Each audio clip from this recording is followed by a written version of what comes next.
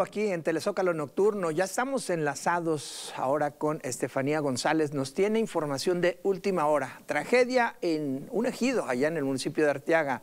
Buenas noches, Estefanía González.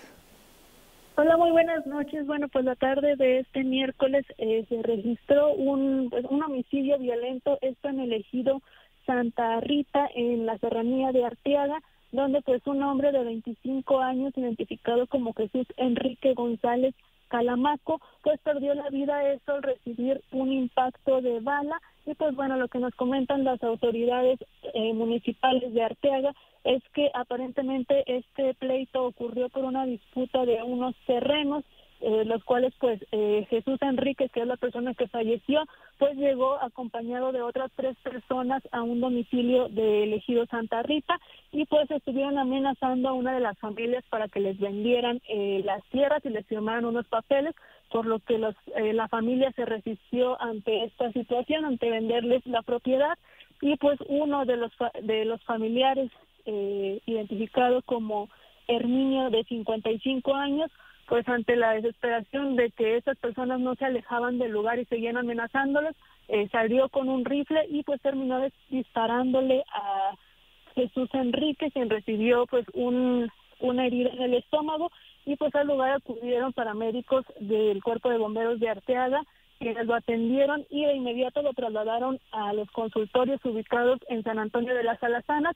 Sin embargo, al momento de llegar, pues se informó que este hombre ya había fallecido, por lo que quedó a bordo de la ambulancia sin vida y pues al lugar se trasladaron eh, personal de la Fiscalía General del Estado para tomar conocimiento de esta situación. Eh, y pues bueno, esta es la información que nos comentan las autoridades. También se indica que una de las personas que participaba en, pues, en estos hechos fue un hombre identificado como Óscar Fernando Guevara Cervantes, también conocido como el Güero Valero, quien pues ya cuenta con antecedentes penales en años pasados. Estefanía González, precisamente una cosa, ¿está detenido el presunto asesino?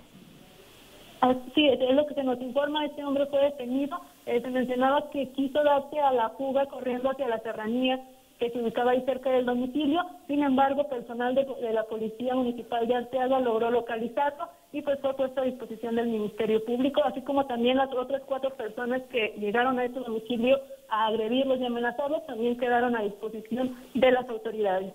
Pero él es el, el, presunto asesino, mató en defensa de su propiedad, ¿verdad? Sí, así es. Este Herminio, de 55 años, eh, era pariente del dueño de esta propiedad, era hermano de, la propiedad y pues salió en defensa debido a que esas personas pues no querían retirarse. Perfecto, Estefanía González. Muchísimas gracias. Seguimos en contacto contigo el resto de este espacio de noticias.